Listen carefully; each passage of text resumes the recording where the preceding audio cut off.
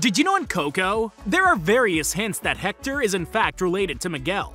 One of these being his shoe polish. Hector uses shoe polish to help in disguising Miguel as a skeleton.